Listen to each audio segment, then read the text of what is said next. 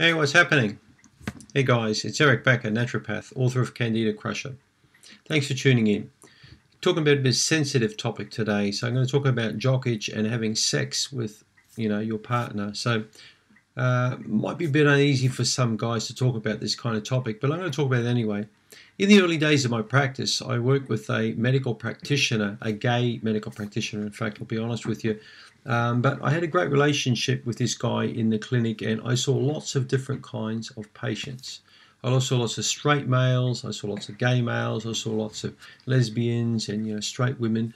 But the thing is, I, I, I talk with a lot of patients about uh, sex. I mean, you know, I'm one of these practitioners that talk about patients about everything. Okay, so sexual relations is an important part of our relationships with people whether we are straight or gay, I don't care. I don't look at a person's sexuality. I look at the person, to be honest. Okay.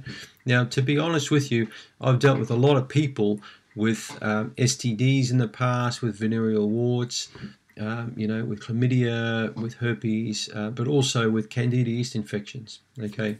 Now, I can tell you something. If you've got jock itch as a guy or vaginal infection as a woman, there's one thing I want you to take uh, uh, to really think about. It's easy to pass a candida yeast infection from one person to another. All right, it is possible.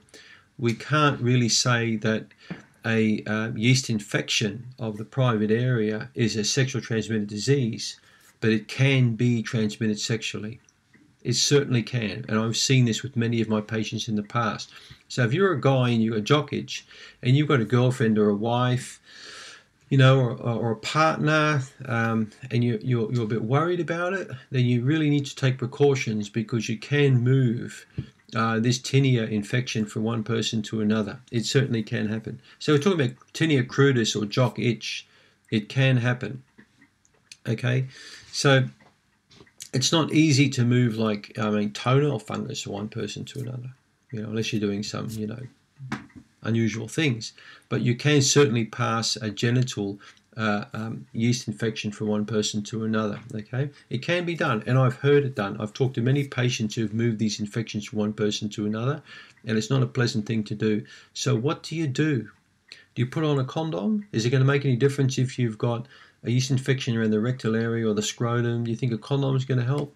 Probably not. Okay, oral sex probably is not uh, quite the same as having you know uh, sex in other ways genital sex but if you've got jock itch especially if it's really bad you need to be pretty good with hygiene and think carefully what you're doing here okay? Because you can move these infections across.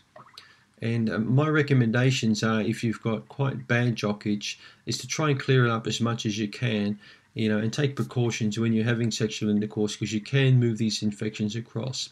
Try and do the right thing by your partner. Try and improve your gastrointestinal health and also your, your, your local health, you know, uh, in that region.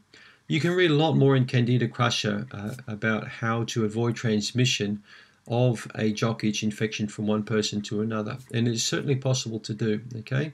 It may be a bit more difficult in casual sex, but if you're in a, in a committed relationship like I am, think about your partner more carefully. Uh, you know, be open and honest with your partner. Talk about these sort of things, and make sure you get the right kind of treatment. Go to yeastinfection.org and look at the treatment, and please do my yeast infection quiz. I want you to nail this thing, okay? It's not fair on your partner if you don't talk about jock itch and you transfer it from your partner, whether your partner's male or female. You know, you really need to uh, to be serious about this and get on top of it. Jock itch can be fixed up, and if you follow my treatment methods, you can nail this thing in three to six months. Okay, I've helped a lot of patients just like you to nail this thing. It's an awful condition. I had it myself, but it can be nailed. All right.